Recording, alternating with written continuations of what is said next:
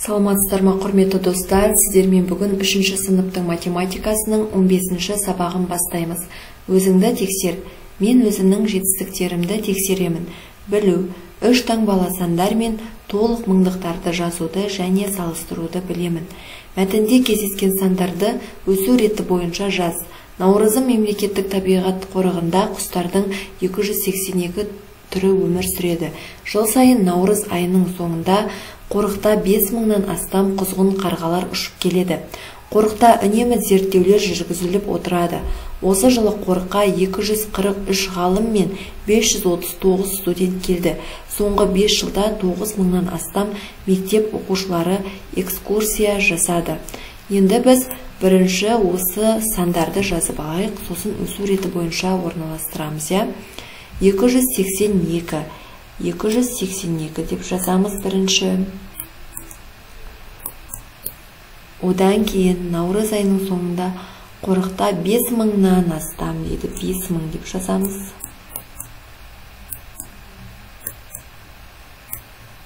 Және 243 243 243 539 539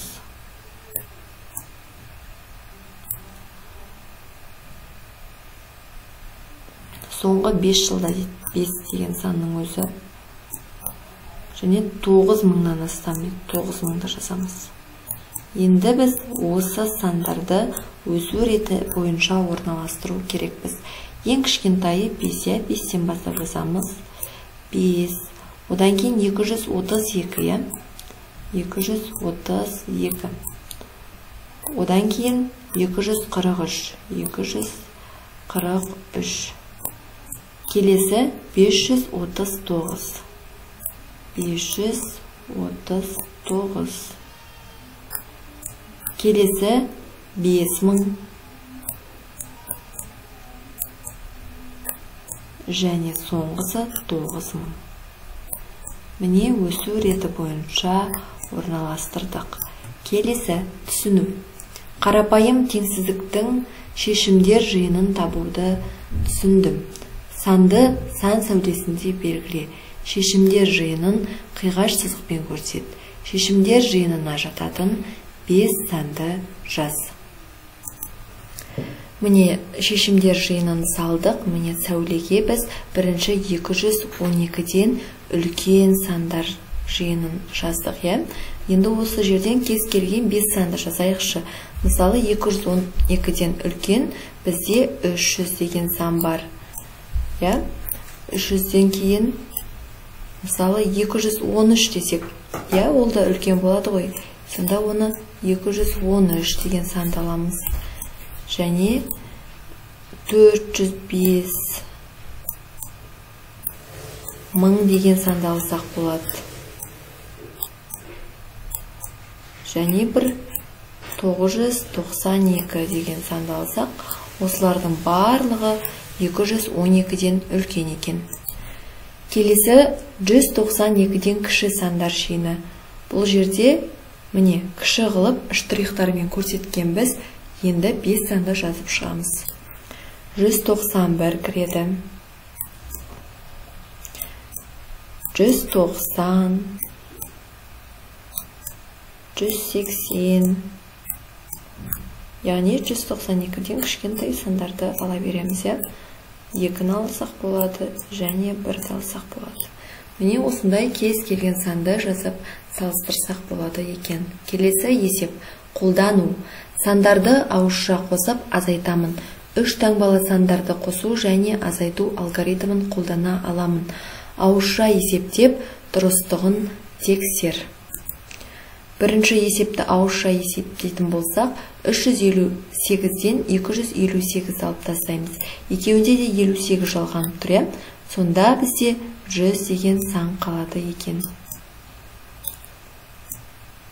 Енді 100-ге 258-ді қоссақ 358 шығады. Келесі 150-ге 40-ты қоса саламыз сонда 190 болады. 190-нан 40-ты алатын болсақ 150-дің өзі шығады. Келесі 250-ден 50 аламын сонда 200 қалады. Енді керісінше тексеретін болсақ 200-ге 50-ді қосамын 250 болады. Келесі 102-ге 98-ді қосамын. 200 болады. Ал 200-ден 102-ні алып тастасақ 98 қалады. Келесі баған бойынша есептеп дұрыстығын тексер. Баған түрін жазып алайық. 900 аламын 568 мына жақтан бір қарыс сұраймыз. Оннан сегіз алатын болсам екі қалады иә. Және бір қарс сұрадық тоғыз қалды. Мына жақтан тағы бір қарс сұраймыз. Бірақ сонда да тоғыз қалады. Тоғыздан алтын аламыз үш қалады. Және біз бір қарыз алып қойдық. Сегіз қалды. Сегізден бесті аламыз. Сол кезде бізде үш қалады. Сонда 332 деген жауап қалады. Ал біз осы 332-ні 568-ге қоссақ 900 деген жауаптың өзі шығады. Келесі. 259-ға қосамын.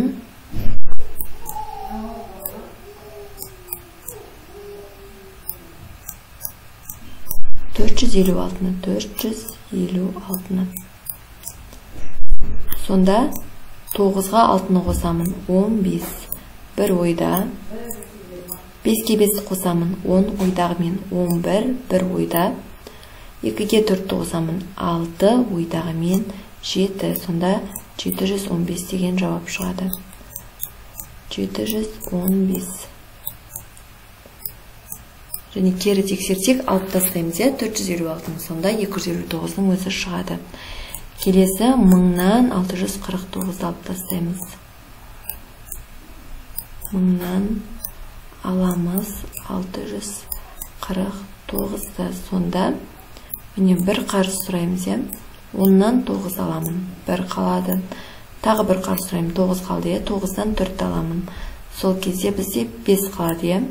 Мына жақтан бір қарс сұрап қойдық тоғыз қалды. Тоғыздан алтын аламын үш қалады. Сонда үш жүз елу бір деген жауап қалады. Үш жүз елу бір. Келесі. Бес жүз елу бірге қосамын. Бес жүз елу бірге қосамын. Екі жүз алпыс төртті. Екі жүз алпыс төртті. Сонда бірге төртті қосамын. Бес. Беске алтыны қосамын. Он бір. Бір ойда. Беске екіні қосамын. Жеті. Ойдағы мен сегіз. Сонда сегіз жүз он бес деген жауап шығады. Сегіз жүз он бес. Келесі. Талдау. Сандар қатарындағы заңдылықты таба аламын. Заңдылықты анықта. Қатардағы сандарды ары қарай жалғастырып жаз. Біріншісіне қарайтын болсақ 303 340 377 болып жатыр иә? Сонда әр қайсысының арасында бізге 37 деген санды қосып жатыр екен. 303-ке 37-ні қоссақ 340 340-қа 37-ні қоссақ 377 сол сияқты ары қарай жалғастырамыз. 377-ге қосамыз тағы да 37-ні 414 болады.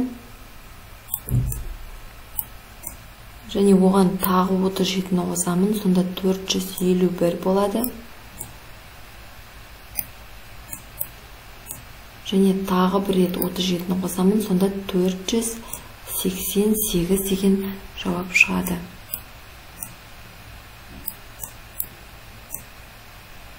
Келесі.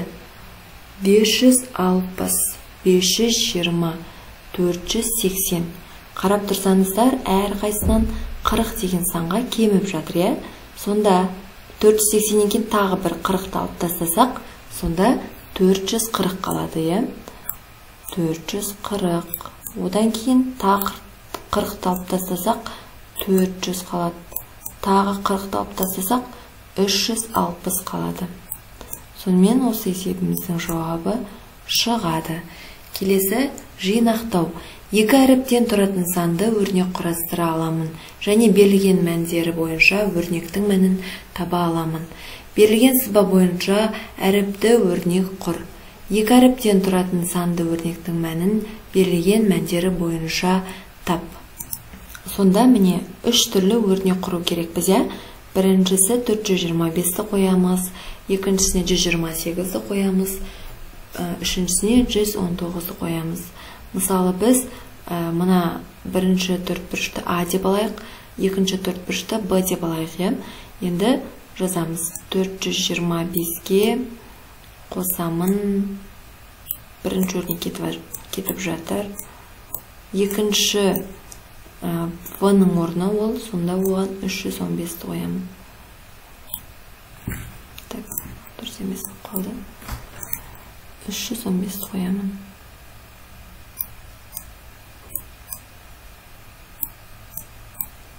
одан алып тастаймын 118-ті осының мәнін табу керек және келесі енді бұл жерде 128-ті жазамыз 128 қосамын. Екіншісі уже 245-тен аламыз иә? 245-тен аламыз. 118-ті ал 118 деген ол өзі өрнекте бар иә? Басында берілген жерінде бар. Тең болады. Келесі. Міне 119 деп басталады. 119 қосамын. 123 аламын 118 енді осылардың жауабын анықтау керекпіз иә 315-тен 118 алып тастасақ 197 қалады мынау 197 оған 425-ті қосамыз сол кезде 622 деген жауап шығады келесі 245-тен 118 аламыз. 127 қалады оған 128-ті қосамыз. Сонда 255 деген жауап шығады. 255 келесі. 123-тен 118 аламын. 5 қалады оған 119-ті қосамын. 124 деген жауап қалады. Енді келесі есепке өтеміз. Бағалау жақшамен берілген өрнектерді оқу және жазу кезінде қосу және азайту компоненттерінің атауын дұрыс қолданамын. Әлия өрнек пен оның жазылуын дұрыс сәйкестендірді ме? Тексер қателерін түзе дейді. Енді қосындыға айырманы қосу. Жоқ бұл бағалау. Бұл дұрыс. Себебі мынау қосынды ал мынау айырма иә? Қосындыға айырманы қосу. Бұл дұрыс екен. Келесі. Саннан қосындыны азайту. Мынау сан одан қосындыны азайту деп тұр. Сонда мынау мынанікі екен. Ауысып кеткен екен иә? Келесі. Сандардың айырмасын санға қосу. Міне сандардың айырмасын санға қосып жатыр. Сонда мынаның жауабы мынау болады екен. Сонымен оқушылар бүгінгі тақырыбымыз аяқталған секілді. Келесі сабағымызды келесі видео сабақта жалғастырамыз. Менің каналыма тіркелуді ұмытпаңыздар. Себебі мен 16-шы және де ары қарайғы күнделікті тапсырмаларды шығарып беріп отыратын боламын. Сау болыңыздар.